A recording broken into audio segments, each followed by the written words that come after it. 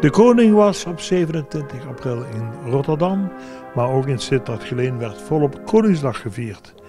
Zo werden de gedecoreerden, de vers gedecoreerden, maar ook allen die eerder een lintje hebben gekregen, ontvangen in de grote kerk in Sittard voor een ecumenische dienst.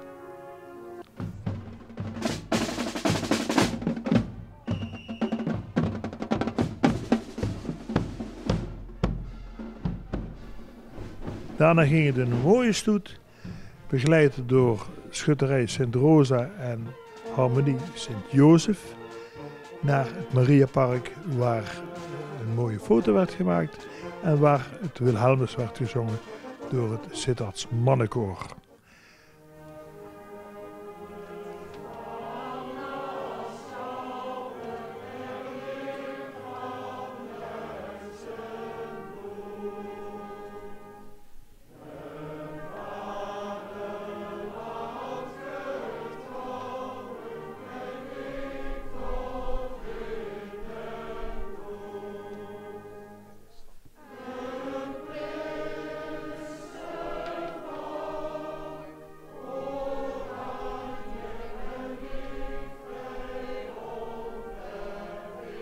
Volgend hoogtepunt was een uh, gezellige lunch in restaurant George's in het centrum van Sittard voor de gedecoreerden van dit jaar en eerdere jaren.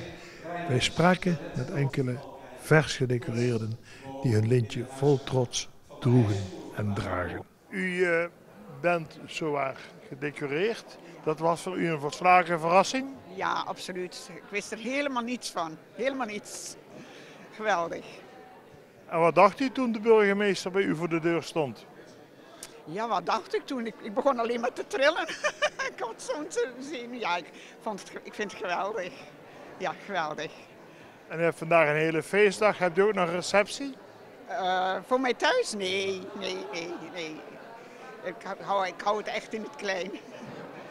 Wat doet u? Wat hebt u allemaal gedaan om deze onderscheiding te krijgen? Ontzettend veel vrijwilligerswerk uh, voor mensen die niet gezond zijn in hotels. Nachtdiensten gedaan. Als mensen zorg nodig hadden, dan kwam ik.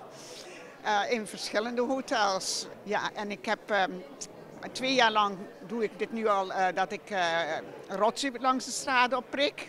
Rode vrouwen, rode vrouwen zakkenmeisje.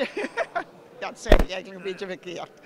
Ja, ja, dat doe ik dagelijks. Dat doe ik dagelijks. Elke dag ga ik. Je zit dit jaar verrast met een uh, mooie onderscheiding. Wat is voor onderscheiding? Is, ben ik geridderd geworden. Dat is uh, een hele hoge onderscheiding, zowaar. En uh, wat heb je allemaal gedaan om die onderscheiding zomaar spontaan te krijgen? Nou, ik ben al 34 jaar vrijwilliger bij het ijshockey algemeen. Ik heb dus uh, in het bestuur van uh, Smoke Eaters 15 jaar gezeten. Maar ik doe al 25 jaar de ijshockeycompetitie leiden in Nederland voor de hele jeugdafdeling. En je bent natuurlijk een hele bekende persoon in Geleen, hè? Ja, niet in Geleen alleen, maar in heel Nederland. Want iedereen zei van, bel Merlisma, die weet het, die kent de regels.